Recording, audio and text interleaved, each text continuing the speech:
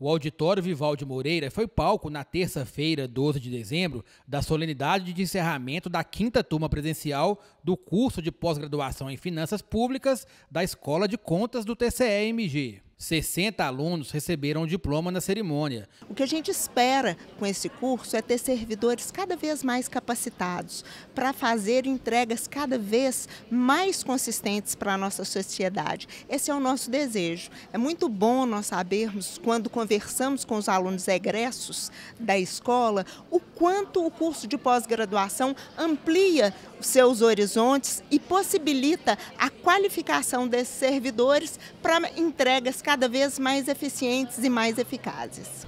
O curso ele tem uma grade curricular muito voltada para a prática, né? então os alunos conseguem aprender desde conceitos do dia a dia relacionados ao orçamento público, relacionados a receitas e despesas públicas, como também tópicos especiais, como é o caso do direito previdenciário, que são completamente aplicáveis no dia a dia da administração pública. É um curso completamente inovador, não tem nada igual no país em matéria de pós-graduação em finanças públicas, por isso que é um curso tão aclamado.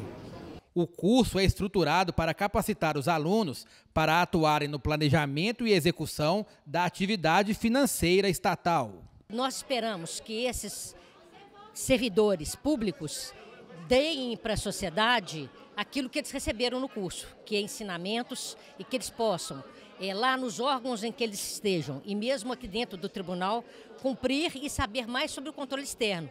A Previdência, dentro do contexto de um curso de pós-graduação de finanças públicas, um curso tão bem estruturado como este aqui do Tribunal de Contas, eu acredito que essas pessoas já têm uma visão diferente da política previdenciária. E nós precisamos disso para que as pessoas criem essa corrente, essa rede de proteção social. Além do título de especialistas, os alunos levam também o compromisso de aplicarem na prática os ensinamentos recebidos na pós-graduação da Escola de Contas do TCE. O curso de Finanças Públicas é uma oportunidade de capacitação para funcionários, né? principalmente a gente que vem de município pequeno.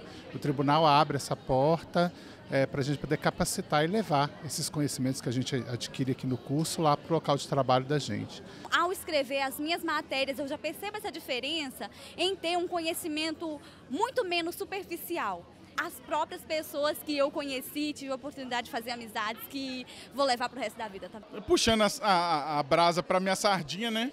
A parte de contabilidade, eu sou apaixonado né, por, por ser contador do bombeiro e chefe da contabilidade. Então eu sou muito apaixonado pela matéria, mas todas são é, inebriantes e todas têm seu, seu charme e sua importância para o nosso crescimento profissional. É um curso de excelência, os professores são muito qualificados, todas as disciplinas são muito interessantes e agregaram muito ao meu conhecimento e eu espero realmente poder contribuir com o meu trabalho, né, para que a gente construa uma sociedade melhor, um serviço público mais eficiente. Ao final do evento, o presidente Gilberto Diniz fez um importante anúncio.